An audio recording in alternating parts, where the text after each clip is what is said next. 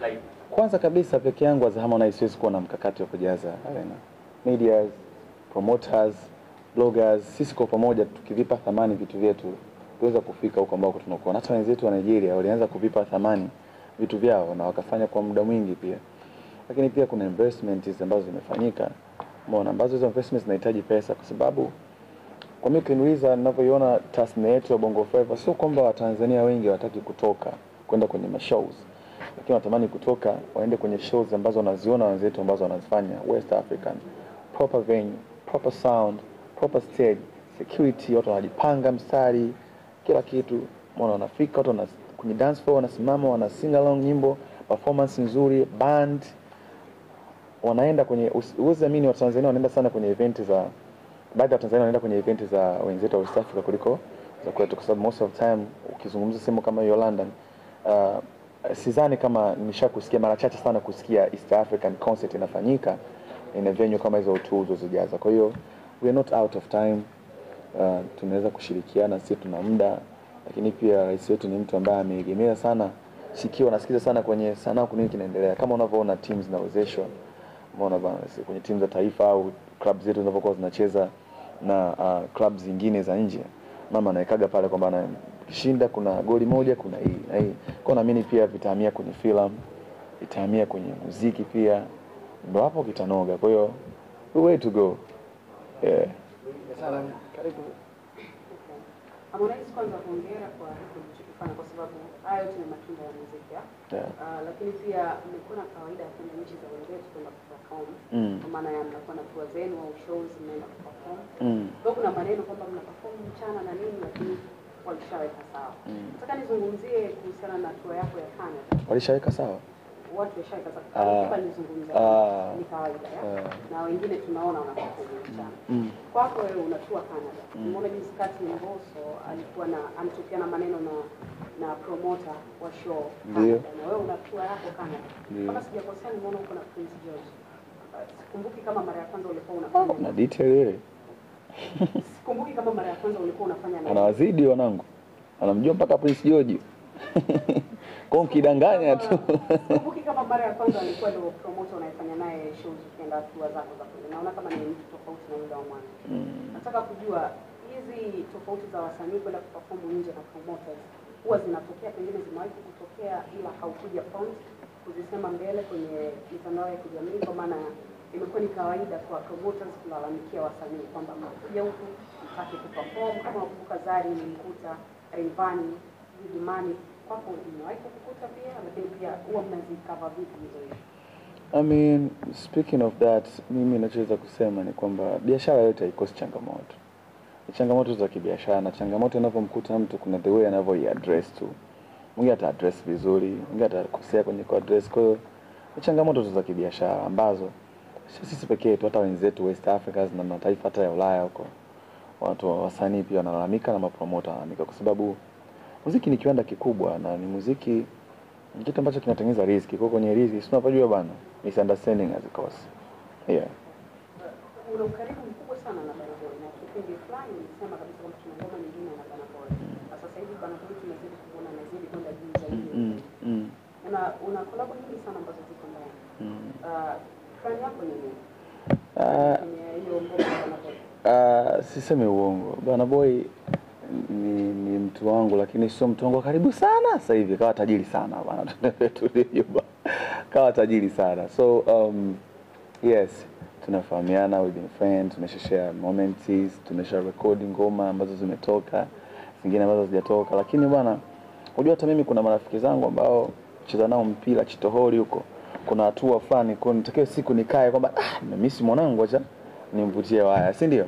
Kwa hiyo nikakaa hapa nikasema kwamba ah, unajua bwana Boy tunaongea kila siku. No, hapana, utakuwa unadanganya kwa sababu tumekuwa tunaongea kila siku, jamani, show zake za stadium zile, na mimi si ningeenda nikasema sold out watu 30 mngepost watu wa media kwamba ah, show ya Konde ni balaa UK si ndio?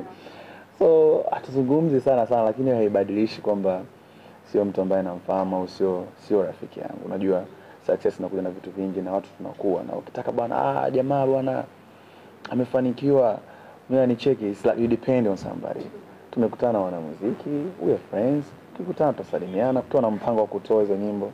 Zisipotoka pia umeona so mm -hmm. Uh, last time alikipa alipokuwa live alisema kuna kuna mtu alimuuliza. Anaweza kufanya collab na wewe na akasema inawezekana. Uh, mnaweza mkafanya collab. Hakuna mmoja kati yenu ambaye amewahi kuzungumza kwamba kuja na kitu fulani.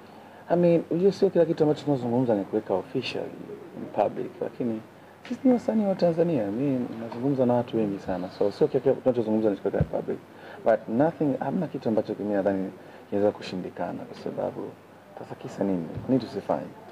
Mimi when it comes to music, kila kitu naikaga pembeni. Nadhani na uheshimu sana mziki na uheshimu sana mashabiki. Kwa hiyo demand ya mashabiki ambao wamenifanya ni kama Harmonize, siku akisema bana, tunahitaji nyimbo bana na kufanya na why not?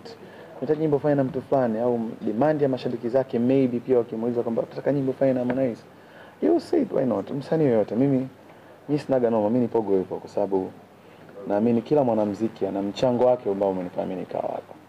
Yeah, ukisikiza nyimbo ya ya, ya zamani kidogo inaitwa niambie niambie tell me baby lo ni, ni inspired by wimbo wa Alikiba unaitwa unaitwa unaitwa ni kiss. Ni kiss ni pesa sina nini umenipenda? Mm. mapenzi hayaendi penzi bila ya matanuzi. So nikapata inspiration nikaona okay ni topic ambayo kila mtu anaweza akapenda kwa sababu most of us ambao tumetoka familia za kimaskini tunapenda ni kulalamika kwa sababu maisha yetu sio mazuri. Kwao hata tukitelekezwa kwenye mapenzi hisia za kwanza nakuwa ni zile bana ah kaniacha mimi kwa sababu sina pesa. So I love it. Nikaona okay, it's, it's, it's a nice idea. Nikafanya so kila mwanamuziki ana mchango wake mkubwa sana kwenye mimi kuwa Harmonize. Kwao sioni sababu ya kuto kufanya wimbo na mtu wote na au haya maneno sikia hivi watasema hivi watasema hivi. Of course lazima tu yawepo ili maisha endelee lakini personally mimi sijui kuhusu watu wengine lakini mimi personally naonaga tu kwamba um, konde, gang, konde gangs for everybody konde boys for everybody.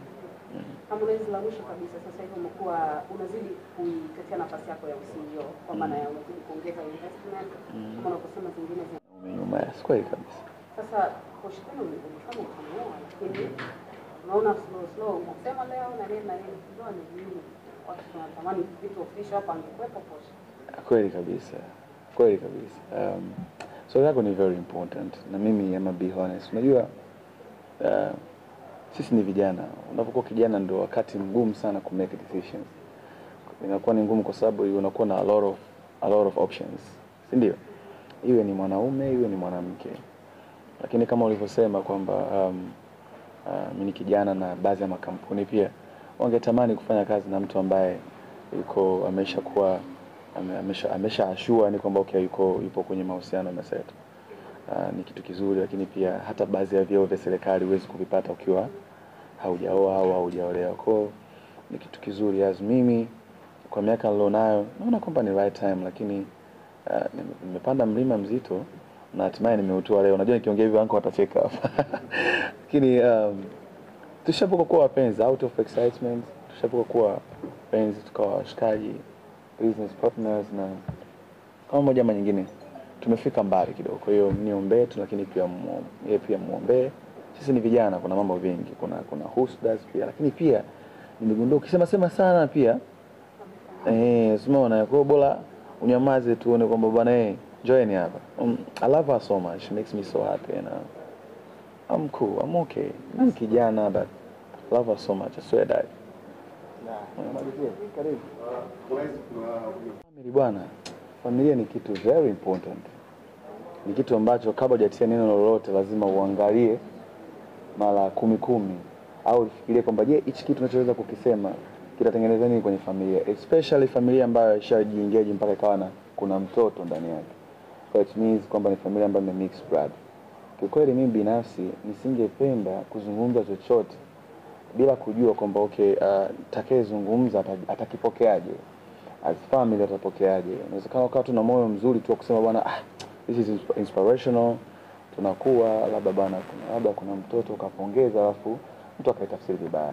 Actually ni kwa vile tu nimesema kwamba leo nitajibu kila kitu, lakini ingekuwa ni siku zingine nikisingeweza hata kugusia kuzungumza, kwa sababu mimi naogopa sana um, mambo ya kifamilia, kwa sababu hata dini zetu zinatuhimiza hivyo, lazima uheshimu familia ya mtu um, Uh, speaking of Omari still ni mdogo wangu, still he is my friend. tunawasiliana, tunakutana kwenye kazi. Mimi nadhani hiyo inatosha, kwa sababu personal family ni kitu ambacho hutaki kujiinvolve kabisa. Hmm?